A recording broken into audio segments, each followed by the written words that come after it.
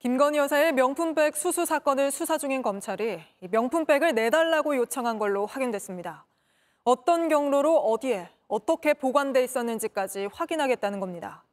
이 명품백 실물을 확보하고 나면 이제 김 여사에 대한 조사만 남는데 소환이 불가피하다는 검찰과 서면 조사면 충분하다는 김건희 여사 쪽 입장이 맞서고 있습니다. 박현주 기자의 단독 보도입니다. 검찰은 지난주부터 명품백 실물 확보에 나섰습니다. 김 여사 측과 제출 방식 등에 대한 조율을 시작한 겁니다. 김 여사 측도 검찰과 이야기하고 있는 건 맞다며 이르면 이번 주 안에 방식이 결정될 것이라고 말했습니다. 현재로선 압수수색 영장보단 공문을 통한 방식이 유력한 걸로 파악됐습니다. 검찰은 최 목사가 건넨 것과 같은지 어디서 어떻게 보관돼 있었는지 등을 파악할 방침입니다. 그동안 대통령실은 별도의 장소에 명품백을 보관하고 있다고 밝혀왔습니다.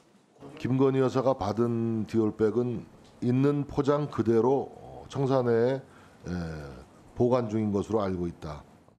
명품백은 대통령 기록물로 공식적으로 분류되지 않은 상태입니다.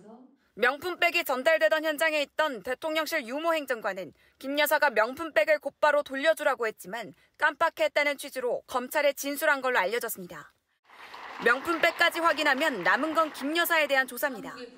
검찰은 소환이 불가피하다는 입장이지만 김 여사 측은 서면 조사만으로도 충분하다고 밝혔기 때문에 어떤 식으로 결론이 날지 주목됩니다.